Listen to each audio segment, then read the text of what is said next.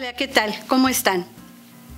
Bueno, en esta segunda temporada de Animando a la Lectura vamos a tener muchas historias cortitas pero muy interesantes. Estoy segura de que ustedes han oído hablar de la Cenicienta. Hay también muchas versiones de la Cenicienta. Y he visto películas de la Cenicienta eh, muy modernas que tocan ese asunto de lo que es ser Cenicienta.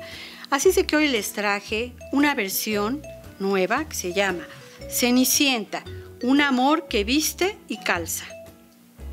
Esta historia de amor y de magia sucedió hace mucho, en un reino muy, muy lejano.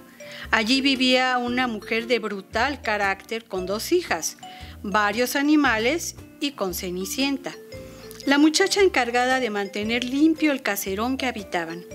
Las hijas eran jóvenes y bellas y vestían ropas de lujo, pero también eran egoístas y rencorosas, envidiosas y groseras.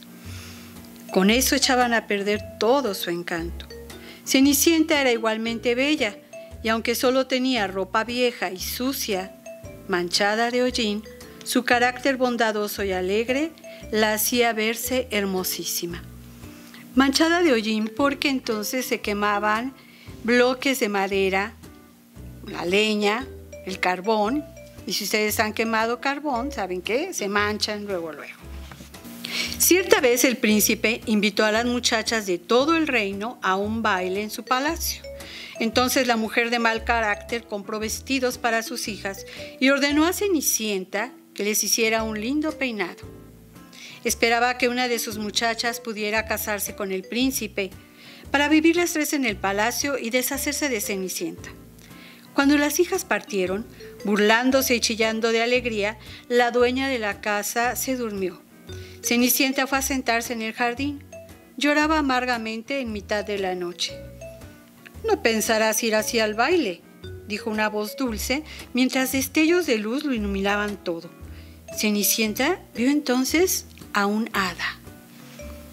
¿Con esta ropa? dijo Cenicienta. No, con esas lágrimas, aclaró el hada. La ropa solo te adorna el cuerpo. Lo importante es, ¿podrás andar con el alma de fiesta para vivir alegre y alegrarles la vida a los demás? Cenicienta miró a los ojos al hada. Entonces ésta le dijo tiernamente, sí que puedes. Vivirás una gran noche, mi niña. Así ocurrió el prodigio. La triste ropa de Cenicienta se convirtió en un vestido de gala hermosísimo. Tenía los pies calzados en unas deslumbrantes zapatillas de cristal. La calabaza que crecía en un rincón del jardín se transformó en un carruaje espléndido. El gato dormido en la ventana despertó hecho un cochero elegantísimo y seis ratones vagabundos tomaron la forma de caballos blancos para tirar del carruaje.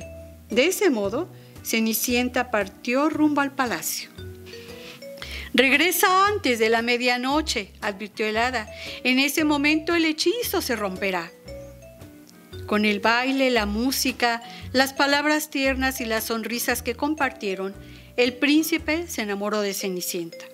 Quiso decirle lo que sentía, pero el reloj del palacio comenzó a dar las campanadas de la medianoche y ella huyó escaleras abajo. En las gradas del palacio solo quedaba una zapatilla de cristal. Cenicienta llegó a casa con el cabello revuelto y sus viejas ropas sucias de hollín, sin carruaje, cochero ni caballos.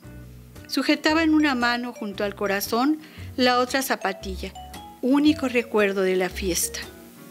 Las dos hermanas no reconocieron a Cenicienta en el baile. ¿eh?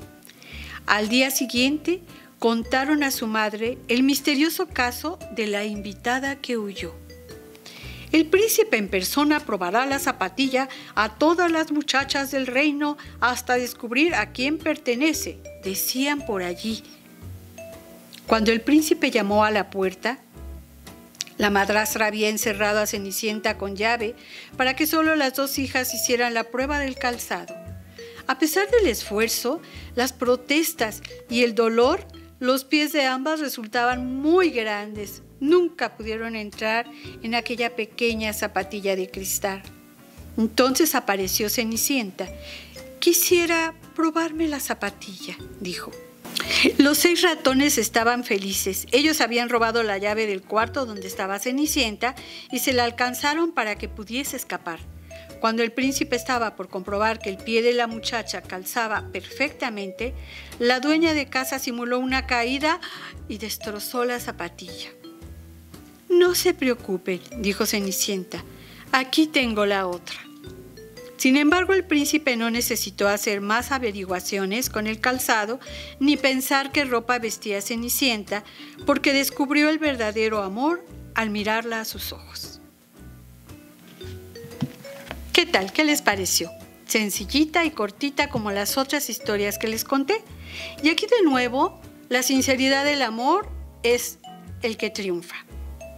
Quédense pensando en eso y bueno, nos vemos la próxima vez.